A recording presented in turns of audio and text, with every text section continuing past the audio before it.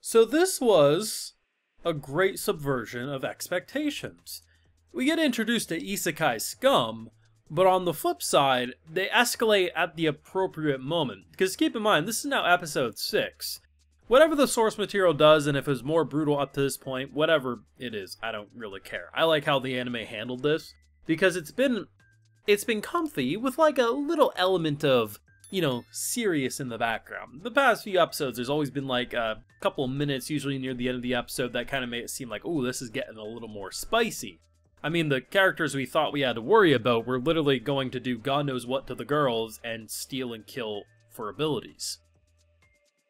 I saw some people last week say that they thought it was Haruka who ended up killing the delinquents because of the hooded, uh, the, you couldn't see the face. They're like, oh, you know, maybe he's in the woods saving them. I didn't like that idea personally because, one, we knew there was someone with the delinquents, because, like, two episodes back, I think it was, I think it was around episode four, maybe it was five, but I think it was four, um, there was someone who, like, gave, like, a devious smile and had a hood on. So to me, it's like, oh, it was the dude traveling with the delinquents. Why he decided to kill them, God only knows, but that's the direction I thought they were going. Getting the reveal, it was actually the dude who I thought was getting bullied and picked on at the very start of the show, and he had this whole plan this whole time, and now it's going to be Haruka versus him. That's going to be very exciting because we could be at a turning point where our MC's actually going to have to kill. Do I think he will? To be honest, probably not, but that's a whole big ass discussion we'll get to later.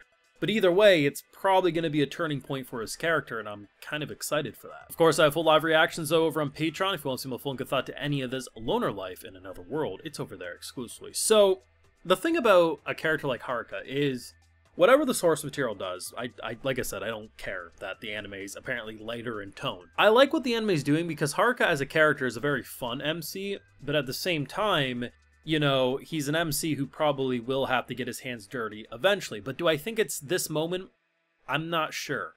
I'm kind of half expecting that they're going to have this big epic battle and the dude will end up dead because he trips off a cliff or something falls on him, but like not a direct landed blow. Because at the end of the day, this dude I don't think there's a prison, and if there is a prison, then I guess he'll be locked in prison for a bit. But at the same time, you know, Haruka as an MC has now learned that this man killed all of the delinquents. Would have killed all the jocks. The only reason the jocks are alive is because he wanted to leave them alive so that they would lead him to class rep, and then therefore he could take the hijack skill. So, he's not a good person. This seemingly is a kill or be killed world, but at the same time, not everyone's waiting to be a school shooter. This man was, I mean, he very much quickly adjusted to being able to kill people. Does a boy like Haruka look like he could just flip a switch and probably kill people? I don't think so, and I think that's what makes him a, a nice guy, like a genuinely good dude. But if his life's in danger and his life starts flashing before his eyes, I could understand why he would have to stab a fool. And I think if they write it like that, it's going to keep Haruka as this rootable MC, but at the same time not make him feel like an edgelord psychopath, which is why I think too I was a little hesitant on saying that it was our boy killing all them because do I see the potential for him to do that to protect people? Sure, but the dude in question last week seemed a little too uh I wouldn't say like it made it seem like he enjoyed it, but it seemed like it was a little too easy to cut off heads and probably about to slice down everyone else. So I think they're doing a good job. And honestly, they do set our boy up for a success because uh, previously we lost all of our money by combining everything and having to use up all of our funds. Turns out it was a good weapon we ended up getting because of all the skills, but we also get a little more spending money. We get an ID so we can go to and from the gate without issues anymore.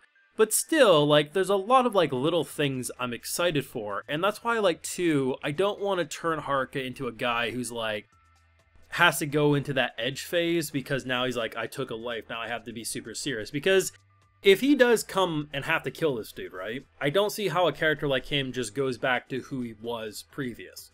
So it's kind of an it's a turning point. One way or another, this will be a turning point for his character.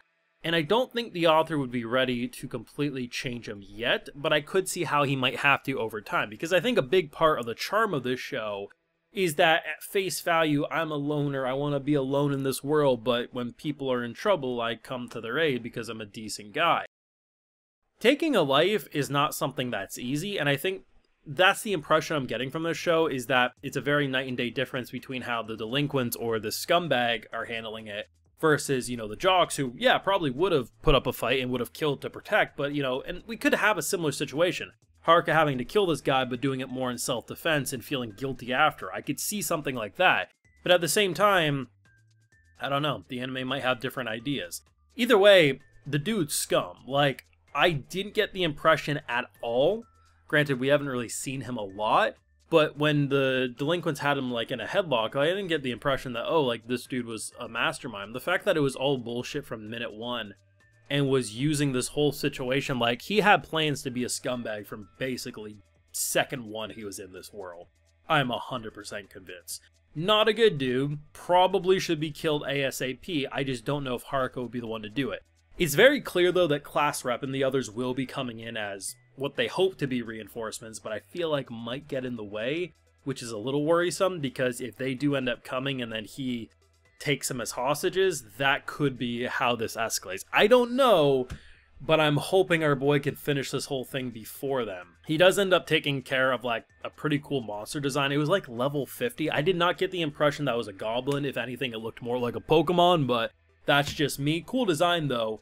Takes it out, bumps up a couple levels, so he goes from level 9 to 11. The leveling system for him is definitely very broken in comparison to others, I think. Because, I mean, he does not fight like a rank 9 or a level 9. Like, the shit he's got going on and you know, the what I always liked about the show in the early stages is how they did like he has weak skills at face value, but the combination of all those weak skills creates more powerful skills, and we really see that in execution in this episode.